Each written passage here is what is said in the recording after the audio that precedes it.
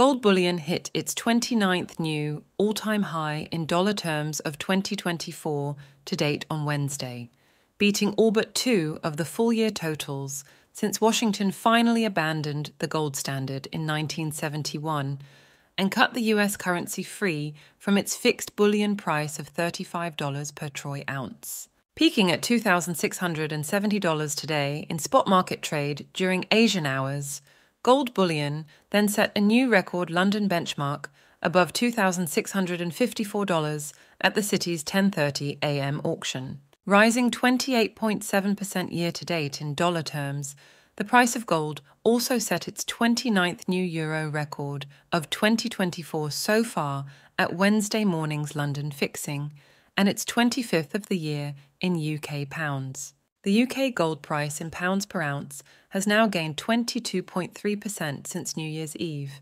peaking at £1,990 in spot trading overnight, while the euro price of bullion has added 25.5% to peak at 2,385 euros. Dollar gold prices, setting 54 new London highs in 1979 and 5 in the first month of 1980, amid double digit inflation, the Soviet invasion of Afghanistan, and the US Iranian hostage crisis. Gold then took almost three decades to beat that peak. After 1980, Gold in 2011 set a new dollar price high on 38 days in London, as the credit rating of US Treasury debt was downgraded from AAA, and the Eurozone debt crisis followed the global financial crash. It then took nine years to beat that top. The market could use a breather, say analysts at Swiss financial giant and London bullion clearing bank UBS.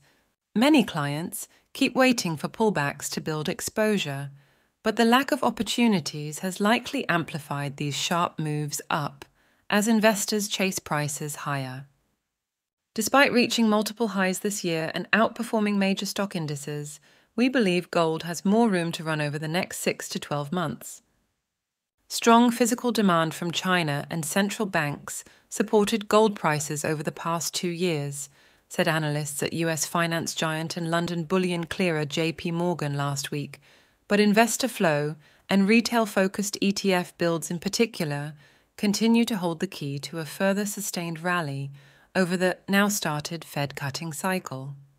Stock markets in China today extended their bounce following the Beijing central bank's announcement of monetary stimulus, but European bourses fell as gold set new records. Major government bond prices also slipped, and commodities dropped with crude oil losing 1.4% from this week's small rally. But the price of silver, which finds more than half of its demand from industrial uses, jumped through $32 per troy ounce for the third time this year before edging back through that level. Please like this video and subscribe to our channel.